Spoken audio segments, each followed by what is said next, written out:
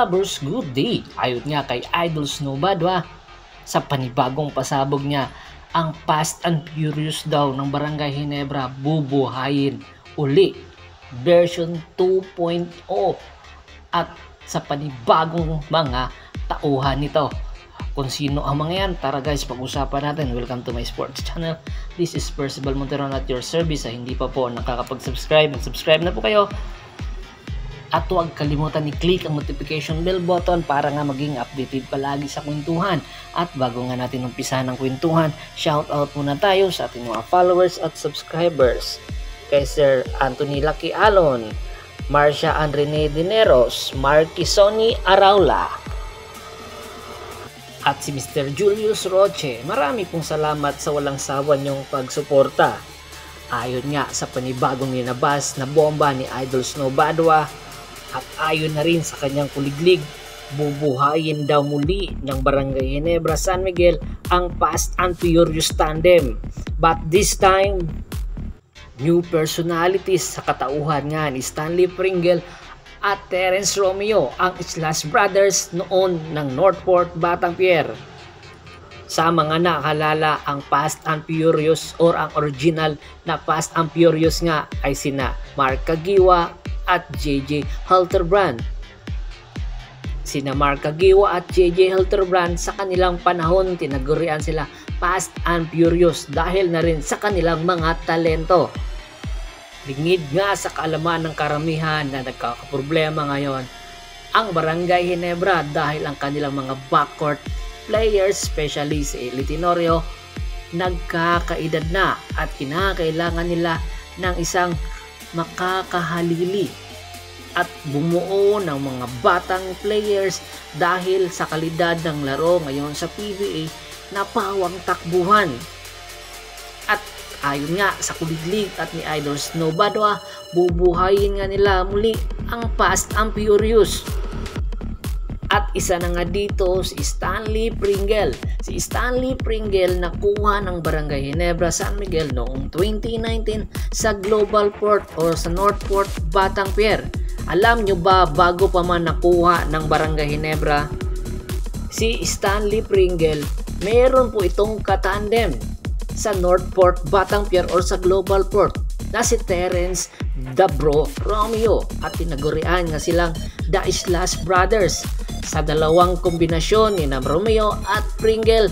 Dinala nila minsan ang Northport Batampier sa playoffs pero kinapos ito dahil nga sa kakulangan ng mga backup na player. Matapos ang limang taong pagsasama ni na Pringle at Romeo, si Romeo tuluyan na ngang nagpaalam sa Northport Batampier at na-trade ito sa Tropang Giga at sa kalaunan na-trade din sa SMB.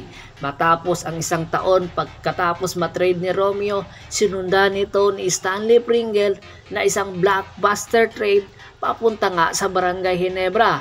Kaya naman pinaplano na naman muli ngayon ng SMC Management na pagsamahin sina Romeo at Pringle hindi bilang Slash Brothers pero bilang Fast and Furious 2.0.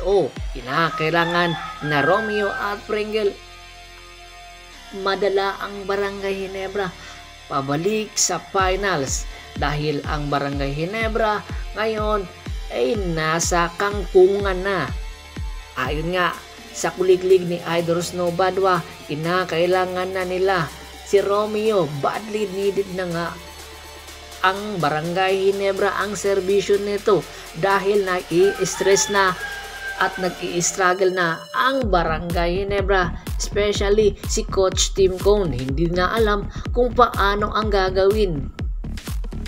Ayon nga sa kuliglig hindi malayong sa susunod na season ipapadala na nila si Terence Romeo sa Barangay Hinebra. Sa katunayan nga ayon kay Idol Snow, wala naman daw talaga injury si Terence. Naka-reserve lang ito matapos ang laro or series ng Northport versus SMB. Kumbaga, inahanda nila ito para sa semifinal matchup nila. Pwede pala yon.